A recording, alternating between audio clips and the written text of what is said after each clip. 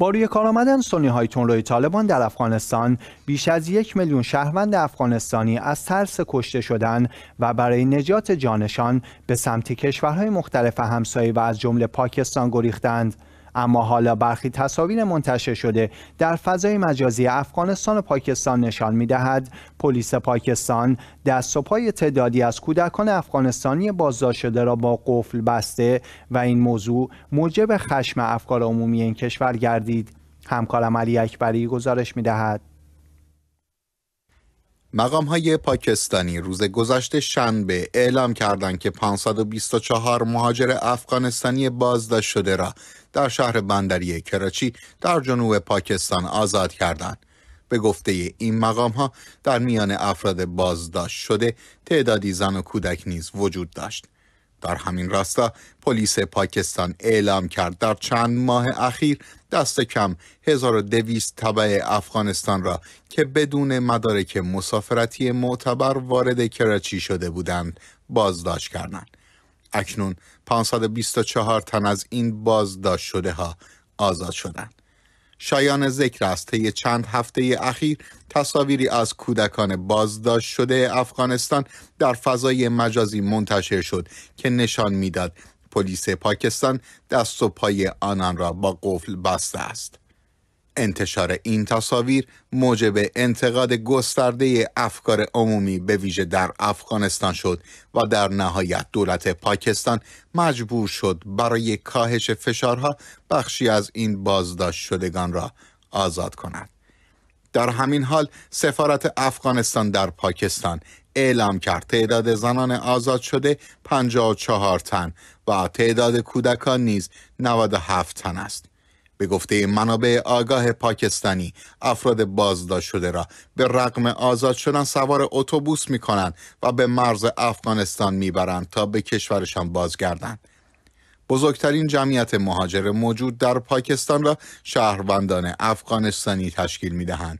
مهاجرت به این کشور از زمان حمله ارتش اتحاد جماهیر شوروی به افغانستان بین سالهای 1979 تا 1989 صورت گرفت. در مورد تعداد شهروندان افغانستانی موجود در خاک پاکستان اعداد و ارقام دقیقی در دست نیست. اما بر اساس یک گزارش منتشر شده توسط سازمان ملل دست کم. یک ممیز سه میلیون مهاجر افغانستانی در پاکستان وجود دارد. علی اکبری اخبار شیعه. عبدالرزاق اسماعیلی کارشناس روابط بین الملل از ایتالیا با ما همراه هستند. سلام وقتتون بخیر. سلام روز شما بخیر. ممنونم. تصاویر بستن دست و پای کودکان مهاجر افغانستانی در پاکستان موج شدیدی از اعتراضات را برانگیخته. لطفا جزئیات بیشتری از این اتفاق را برامون بگید. سلامت باشید که سلام خدمت شما و بینندگان تلویزیون شما. خدمت شما عرض شود که موج مهاجرت در پاکستان تازگی ندارم بلکه از شروع تهاجم قوای شوروی در دهه 80 و این طرف متاسفانه با شروع جنگ های خانمانسوزی که در افغانستان صورت گرفت موج مهاجرت از افغانستان و ایران و پاکستان و دیگر کشورها آغاز شد. اما در طول 20 سال گذشته ای که یک مقدار وضعیت و شرایط نسبتا خوبی در افغانستان حاکم بود تعداد زیاد از مهاجرین و پناهنده هایی که در کشورهای مختلف همسایه مانند ایران و پاکستان پناهنده شده بودند اینا داوطلبانه برگشتن به سرزمین اصلیشون. اما متاسفانه بعد از حادثه 15 آگست سال 2021 که دوباره طالبا به قدرت رسیدن در افغانستان و نظام جمهوری اسلامی در افغانستان ساقط شد موج جدیدی از مهاجرت و پناهندگی در سراسر جهان از افغان ها گسترش پیدا کرد مخصوصا در کشورهای نزدیک مانند پاکستان و ایران. اینها مهاجر شدند. متاسفانه تعداد زیادی از مهاجرین و مردم افغانستان که به خاطر ترس از جانشان و ترس از وضعیتی که پیش آمده بود در افغانستان اینا مجبور شدن به پاکستان و ایران پناهنده بشن. اما متاسفانه دولت پاکستان درست است که سال، سالیان زیادی بودن که اینا میزبان مهاجرین افغانستان بودن و میلیون ها مهاجر افغان در پاکستان زندگی می‌کرد. اما متاسفانه در این اواخر دیده می شود که پاکستان شرایط بسیار بدی را برای مهاجرین به وجود آوردن و رفتار غیر انسانی و دور از کرامت انسانی و اسلامی را در قبال پناهنده و مهاجرین افغانستان اتخاذ کردند.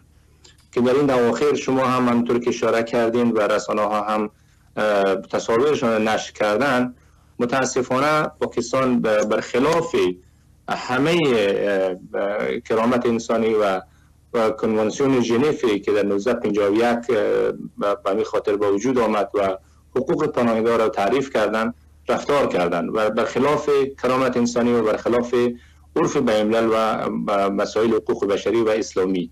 حتی دیده می شوند که زنان و کودکان دست پایشان زنجیر بسته شده است در حالی که شما می‌دونید که جرم مهاجرت یک جرم جنایی نیست و اینا کسانی هستند که به علت ترس از جانشان به خاطر زنده ماندن و به خاطر پناه بردن به کشور دیگه رفته بودن و اینا کدام مجرمی نیستن که اینا دست پایشان با غول زنجیر باید بسته می شدن بلکه برای اینا قوانین و مقررات خاص سازمان ملل متحد در نظر گرفته که از جمله خیلی واضح و چند مورد مشخصی را من می‌خوایم خدمت شما عرض کنم که ابتدایی ترین حقوق انسانی یک مهاجرت اینمی است که کشور میزبان باید یک برخورد انسانی و برخورد درست با اونا داشته باشند و حق زندگی و امنیت شخصی داشته باشند و از هر گونه شکنجه و رفتار, رفتار خلاف, خلاف شون بشری باید اینا من شوند.